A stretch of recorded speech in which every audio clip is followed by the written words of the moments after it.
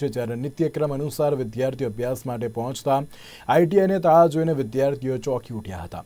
ઠાસરા તાલુકાના ગરીબ વર્ગના બસો વિદ્યાર્થી રજડી પડતા દેખાયા હતા ત્યારે બિલ્ડિંગ જર્જરિત હોવાનું કારણ દર્શાવીને આઈટીઆઈ બંધ કર્યું હોવાનું હાલ જોવા મળી રહ્યું છે. ત્યારે સ્થળ પર નિરીક્ષણ કરતા બિલ્ડિંગનું સમારકામ થઈ શકે તેમ હોવાનું સ્પષ્ટપણે જણાઈ રહ્યું છે.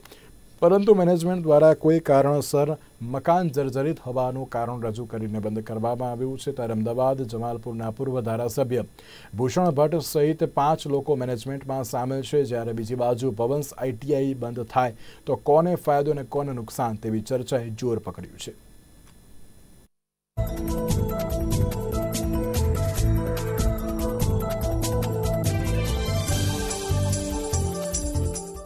સર, પ્રશ્ન પ્રિન્સિપલ સર એવું કહેવા માગે છે કે આઈટીઆઈ જર્જરિત હોવાથી આઈટીઆઈનું બધું કામ સ્થગિત કરવામાં આવે છે. જો દેખવા જઈએ તો એવું કંઈ છે નહીં આઈટીઆઈમાં અને બીજો પ્રશ્ન એવો કે દસ વર્ષથી આપણે મંડળ આવ્યું છે સંસ્થામાં, તો શું દસ વર્ષથી મંડળ આઈટીઆઈ જર્જરિત થાય એ જ રાહ જોઈ રહ્યું હતું?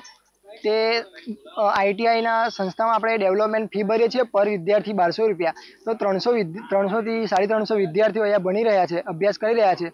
તો પર વિદ્યાર્થી આપણે બારસો રૂપિયા ગણવા જઈએ તો ટોટલ ત્રણથી સાડા ત્રણ લાખ રૂપિયા જેવું બજેટ થાય છે. તો શું આ ત્રણથી સાડા ત્રણ ત્રણથી સાડા ત્રણ લાખ રૂપિયા ગયા કંઈ? એનો કંઈ આઈટીઆઈમાં ડેવલપમેન્ટ તો કંઈ દેખાતું નથી. તો એ ડેવલપમેન્ટ એ અમારા જ પૈસા તો વધારાના લઈ શક, એ લોકો લે છે, તો આ ડેવલપમેન્ટ કેમ નથી થતું આઈટીઆઈમાં પ્રિન્સિપાલ એવા કરે છે અને હેડ ક્લાર્ક બંને મળીને જેથી અમારું ગેરરોજગાર થાય એ કામ કરવા માંગે છે. કારણ એ ગમે તે બતાવીને અમને ગેર કાઢવા માંગે છે. સર, અત્યારે અધૂરા અભ્યાસક્રમમાં કોઈ અમને લે નહીં. અત્યારે તો ઘરે જવું પડે. પણ અમારી એવી માગણી છે કે અમારે આઈટીઆઈ ચાલુ રહેવી જોઈએ.